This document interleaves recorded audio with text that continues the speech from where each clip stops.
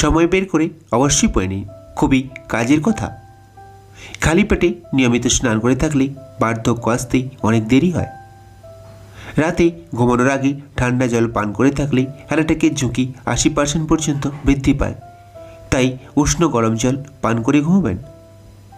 যাদের উল্টো শুয়ে ঘুমানোর অভ্যাস আছে, তাদের দ্রুত হার্ট অ্যাটাক হয়। রেফ্রিজারেটরের ভিতরে মধুকে রেখে দিন। আসল মধু হলে তা জমবে না। এবং মাছি কখনোই আসল মধুতে বসে না। মাসিকের সময় মহিলাদের ঠান্ডা জল একেবারেই খাওয়া উচিত নয়। এমনটা করলে পেটের ব্যথা আরও বাড়ে। মানসিক দুর্বলতা দূর করতে চাইলে কাঁচা নারকেল খান। এতে আপনার মন খুবই প্রফুল্ল থাকবে। যখনই কোমরে ব্যথা হবে, তখন মহিষের কাঁচা দুধ পান করুন। এক নিমেষেই ব্যথা পালিয়ে যাবে। শালগমের রস নিয়মিত পান করলে একজন ব্যক্তি সর্বদা তরুণ থাকে। কানে জল পড়লে সরিষার তেলের সঙ্গে পেঁয়াজের রস মিশিয়ে কানের ভেতরে ঢালুন।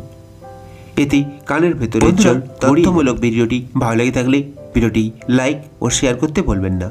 আর এই চ্যানেল নতুন হলে অবশ্যই চ্যানেলটি সাবস্ক্রাইব করে সঙ্গে থাকবেন। ধন্যবাদ।